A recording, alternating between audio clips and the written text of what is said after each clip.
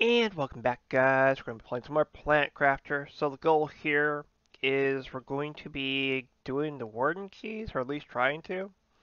So I finally have the animal shelter and animal feeder unlocked. We still have two more to go. We have to get to 2.25 TTI to get this, and then 5 point TTI. Uh, I'm kind of going to do achievement hunting as well. Apparently there's achievement for if you can make the planet blue, so it's like, hmm, maybe I'll do that before I end of the series too. But yeah, for the most part, uh, this facility is now fully automated. It's a little buggy, it's a little laggy. Uh, I have these constantly making these crystals, which then these two usually would make the fusion cells, and then they would immediately be sent to the trader to sell them. And as you can tell, we have 67,096 uh, Terra tokens. So I have no idea what to expect when going to open some of these warden keys. I don't know if there's going to be a crash ship down there. I don't know if there's going to be, you know, needing key access. Don't know. We're going to go. We're going to fuck around. We're going to find out. So the first one we need to go visit is going to be down here in the grassland, uh, grasslands. It's going to be over here somewhere. And unfortunately, I didn't realize that I was going to have to come down here, because as you can see, this is Lag City over here. Uh, these are all the drills that are making pressure, and these are all the heat exchangers that are making heat on the planet. So you can kind of see, like, see un see and understand why I'm like, shit. you know why I'm saying shit? Because I have to come back here, past my power plant here, and I come down here, and it's either here, I don't know, this is a new icon, so I don't know what that is. Um, so, there's some kind of cave over here that leads down underneath that will allow you access to our warden door. That's all I know of. So that's what we're going to be attempting to do today. We are going to attempt to go do the first warden door, probably head back to base afterwards and set up some of these animal pens and feeders. And then maybe if we get all the keys that we need in here, maybe we'll do warden door number two. But that's the plan here. Make sure to like button, make sure to subscribe button. Let's get into it.